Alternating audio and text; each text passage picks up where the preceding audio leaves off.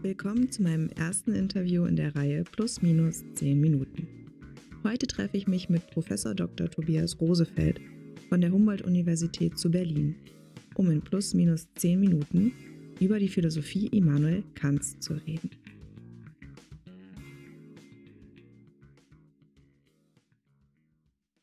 Was ist das Besondere für Sie an Kants Philosophie? Also ich würde das äh, lieber in einer Metapher als in einem einzelnen Satz beschreiben. Und die Metapher ist die, die Kant selber wählt, ähm, indem er seine Philosophie als eine der kopernikanischen Wände bezeichnet. Und das ist ja irgendwie ein, ein Bild aus dem Bereich der Astronomie, ähm, das ungefähr so funktioniert, wir, wir sehen etwas, wir sehen eine bestimmte Veränderung, die Sonne geht auf, die Sonne geht unter. Und erstmal denken wir ganz lange Zeit, das muss daran liegen, dass mit der Sonne sich was ändert. Und irgendwann sehen wir ein, nein, ich kann dieses Phänomen auch anders erklären oder anders beschreiben, nämlich dadurch, dass ich merke, dass sich bei mir was ändert, dass ich, mein Standpunkt sich dreht. Und dieses Bild hat Kant gewählt, um die Grundeinsicht seiner eigenen Philosophie zu charakterisieren.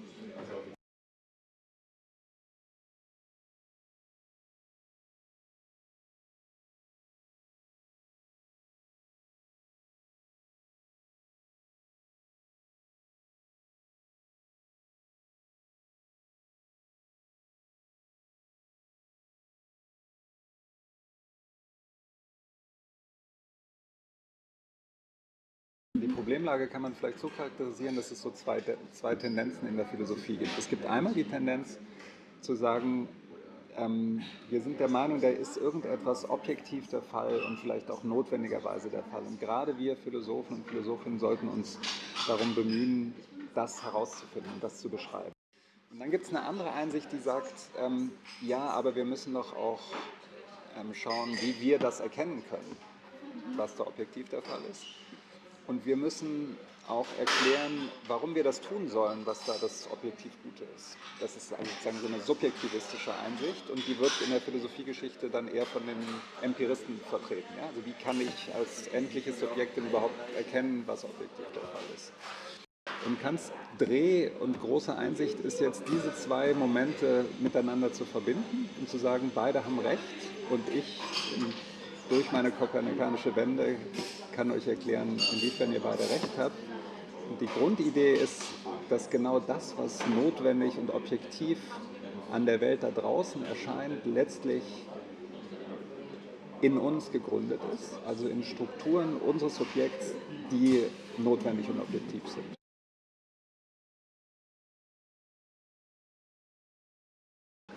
Eine Frage, die Studierende gerne stellen, ist, warum ist das heute überhaupt noch wichtig, was Kant gemacht hat?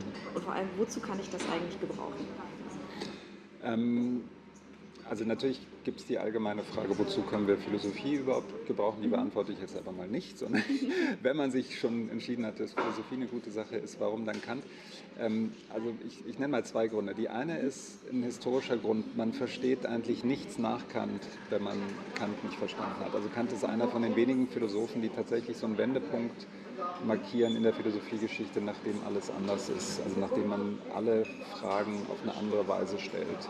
Und ich glaube, dass man, also man kann, man kann natürlich auch Autoren und Autorinnen des 20. Jahrhunderts lesen, aber ich glaube, dass man bei allen eigentlich besser versteht, was dort los ist und was man macht, wenn man vorher auch verstanden hat, was Kant gemacht hat. Also das ist so ein Argument, warum ähm, das interessant ist, aber Kant ist sicher auch deswegen interessant, weil er immer noch Schätze birgt, die man irgendwie auch philosophisch interessant finden kann. Ähm, den Gedanken, dass man eigentlich eine Moraltheorie auf dem Gedanken der Freiheit aufbauen kann. Und so ein Einwand, den man natürlich schnell hat, ist, ähm, wird das Ganze nicht total beliebig? Also wenn ich mir jetzt Gesetze selber geben kann, schön, aber kann, kann sich dann nicht jeder ein anderes geben und ähm, kommt dann noch sowas wie moralische Verbindlichkeit raus? Und Kant ist der Meinung, ja, wenn wir nur richtig verstehen, also sozusagen diese Idee der Gesetzgebung und der Freiheit richtig verstehen, dann merken wir irgendwie, dass wir frei dann sind, wenn wir vernünftig sind.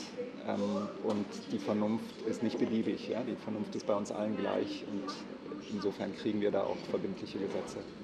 Ich glaube, also Freiheit für Kant ist eben gerade nicht Willkür. Ja. Mhm. Ich glaube, das ist ein wichtiger ja. Punkt, ja.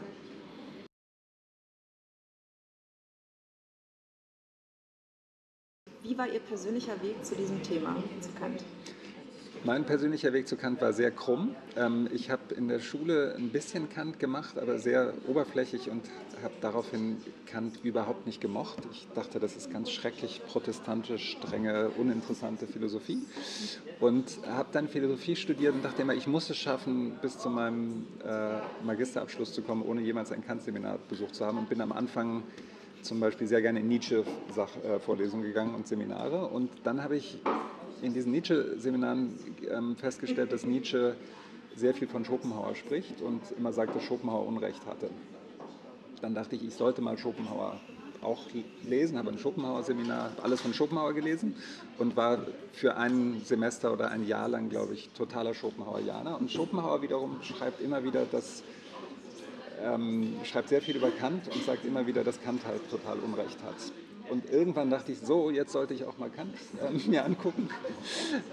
Und ähm, dann bin ich irgendwie zu Kant gekommen und dann habe ich gemerkt, dass es vielleicht gar nicht so sehr darum geht, als Philosoph jetzt selber Nietzscheaner oder Schopenhauerianer oder Kantianer zu sein, sondern dass man einfach sieht, wie, auch wenn man vielleicht nicht voll und ganz zustimmt den Dingen, die die Leute sagen, kann man sehen, wie gut die eigentlich sind und wie, wie clever sie sind. Und bei den drei genannten würde ich sagen, ist Kant einfach der, der klarerweise der brillanteste Philosoph ist und der so ähm, das, das imposanteste Gesamtsystem präsentiert hat. Und deswegen bin ich dann da hängen geblieben. Ja. Ich bezeichne mich auch gerne als Kantianerin wider Willen, weil ich einfach einen großen Widerwillen Genau, so war es bei mir. Ich wollte das. Aber ich, äh, ja. ja. Genau, aber man hört halt, also zum Beispiel sowas wie dieser kategorische Imperativ, den kennt man aus der Schule und den findet man dann erstmal schrecklich beengend und, Ja. und bierernst und irgendwann merkt man, nein, das ist, das ist so spannend, weil es eben gar nicht, die, die Forderung, die da erhoben wird, eine ist sozusagen, ist letztlich die, die Forderung, sei frei mit allen Konsequenzen. Also sei frei, sodass Freiheit konsistent denkbar ist. Und das ist natürlich eine sehr spannende, also auch für, für junge äh, Leute, die gerade frisch an die Uni kommen, ist so eine Maxime, glaube ich, oder so eine, so eine philosophische Agenda irgendwie sehr, sehr spannend. Ja? Und ähm, das, man braucht bei Kant so eine Weile, um, um diese Aspekte bei ihm vielleicht zu entdecken. Aber wenn man sie mal entdeckt hat, dann macht es sehr viel Spaß.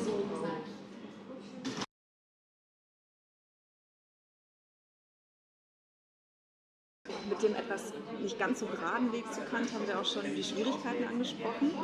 Was würden Sie sagen, was ist die größte Schwierigkeit oder die größte Herausforderung, wenn man sich beginnt, mit Kant auseinanderzusetzen? Also die größte Schwierigkeit ist, dass man erstmal praktisch nichts versteht, wenn man es direkt liest. Also die Texte sind, die meisten Texte oder die wichtigsten Texte sind extrem schwer zu verstehen, weil sie in einer Sprache geschrieben ist, die einem heute nicht mehr so geläufig sind. Also sie sind natürlich deutsch, aber sie haben ähm, Kant versucht, seine eigene deutsche Terminologie zu entwickeln, baut aber auf einer weit ausdifferenzierten lateinischen Terminologie ein, die er auf, die er versucht einzudeutschen und da kommen dann Wortgebilde raus, die wir erstmal gar nicht verstehen. Ja? Ähm, und zweitens schreibt er eben, hat er ein sehr also hat er sehr komplexe Ideen und er versucht häufig, diese komplexen Ideen in einen Satz zu bringen, weswegen diese Sätze sehr lang sind. Das heißt, man liest es am Anfang und muss das eigentlich sich erstmal übersetzen und, und ähm, ja, so in seine eigene Sprache zu übersetzen. Und das würde ich sagen, ist schon die größte Herausforderung, aber auch das, was, wenn man es dann mal schafft, am wahnsinnig viel Spaß machen kann. Ähm, Also es hat gar keinen Sinn, jetzt Kant einfach nur in seiner eigenen Terminologie nachzubeten und zu, ähm, zu lernen, kantianisch zu sprechen. Aber es hat ganz viel Sinn zu versuchen, das, was er sagt, mal einfacher und schrittweise und in eigenen Worten auszudrücken. Ja. Ich benutze Kant auch gerade deshalb gerne als Beispiel für meine Tutorials, weil man dort zeigen kann, wo die Schwierigkeiten in der Philosophie auch generell liegen und wie man die ganz auflösen kann auch. Und äh, ich habe mal einen Satz von Kant genommen aus der Kritik der reinen Vernunft und habe tatsächlich fünf einzelne Hauptsätze daraus extrahiert Ja. und mit den Studierenden zusammen und dann haben sie gesagt, kann man verstehen. Ja, Wir mussten ja. noch nicht mal die Terminologie ändern, sondern allein der Satzbau, Ja. würde ich auch sagen. Und die Terminologie ist natürlich auch Ja. ähm, Sache. Ja, und man muss, man muss sich eben bei Kant daran gewöhnen, dass man bestimmte Dinge sehr langsam liest. Also mein erstes Kant-Seminar, bei dem ich dann gel äh, gelandet bin, war ein Hauptseminar, wo wir in einem, das dauerte sogar zwei Semester und wir haben gar nicht sehr viel mehr als ein paar Seiten geschafft zu diskutieren. Das muss man natürlich in der Gruppe tun. Das hat jetzt, glaube ich, keinen Sinn, wenn man das nur alleine so langsam liest. Aber man kann eben in jedem kantischen Detail unendlich viel entdecken. Und man muss sich sagen, die Zeit geben, auch erstmal lange Zeit nichts zu verstehen. Also auch ich, der ich jetzt äh, Philosophieprofessor für Kant geworden bin, habe die ersten ein, zwei Semester ähm, in der Kritik der Vernunft, würde ich sagen, eigentlich letztlich sehr wenig verstanden. Ja. Ich habe immer gedacht, da ist was, ich, ich habe so eine Ahnung, aber ich hätte es nicht richtig in eigenen Worten wiederholen können. Das heißt, das dauert und wenn man jetzt anfängt, sozusagen mein Rat an Studierende, die damit beginnen, ist, ähm, man muss sich Zeit nehmen und man muss das zulassen. Man soll nicht, also man muss diese Texte schon auch lesen, aber es dauert einfach. Das, aber am Schluss lohnt es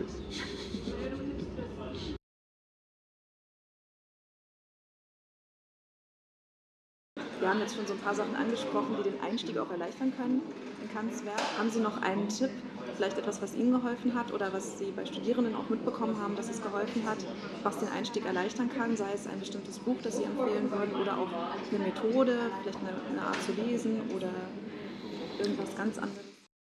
Also die eine Frage ist, was, welche Schriften von Kant sollte man eigentlich zuerst lesen? Und ich mhm. glaube, so tendenziell ist es ein bisschen einfacher mit Kants praktischer Philosophie anzufangen als der theoretischen. Das heißt, wenn man ein Hauptwerk von Kant äh, lesen will, ist die Grundlegung zur Metaphysik der Sitten sicher ein, ein, toller Einstieg. Die ist auch gar nicht leicht, aber ich glaube, man, man, man, versteht schneller, um was es geht, als bei der Kritik der reinen Vernunft zum Beispiel. Ein sehr schöner Einstieg, wenn man jetzt nicht so ein richtiges Hauptwerk lesen möchte, aber mal Feuer äh, fangen möchte für Kant, ist eine ganz kleine Schrift, die heißt äh, Mutmaßlicher Anfang der Menschengeschichte. Ähm, die ist ziemlich kurz und gar nicht so fachphilosophisch geschrieben, sondern sehr stilistisch brillant und sehr lustig auch. Und da versucht Kant sagen, eine Entwicklung dessen, was den Menschen ausmacht, zu skizzieren, indem er eine Reinterpretation der, Sünden, der biblischen Sündenfallsgeschichte ähm, gibt. Und man also er verweist immer sozusagen auf die einzelnen Details dieser Geschichte. Man sollte das lesen mit der Bibel nebenan.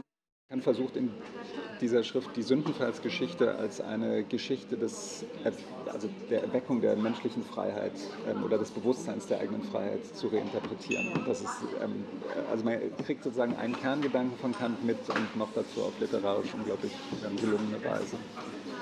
Ähm, also das vielleicht so ein bisschen zu den Werken und ansonsten gibt es natürlich Hilfsmittel, es gibt Einführungen, es gibt eine, ein tolles neues Lexikon, was man ähm, vielleicht nennen sollte ähm, das heißt Kant-Lexikon und da haben sozusagen die deutsche Kant-Forschung in den letzten fünf bis zehn Jahren eigentlich alle daran mitgearbeitet, um alle wichtigen Grundbegriffe bei Kant auf den Begriff zu bringen, also zu, kurz zu skizzieren, was Kant mit einem bestimmten Begriff meint und was da die wichtigsten Stellen sind und welche so die wichtigsten Kontroversen in der Sekundärliteratur dazu sind.